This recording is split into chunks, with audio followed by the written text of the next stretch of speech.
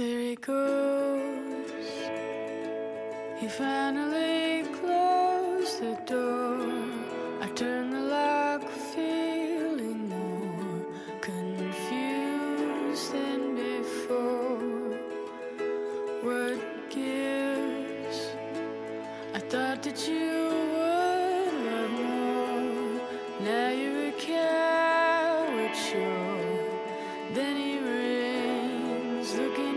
Jesus, He loves you.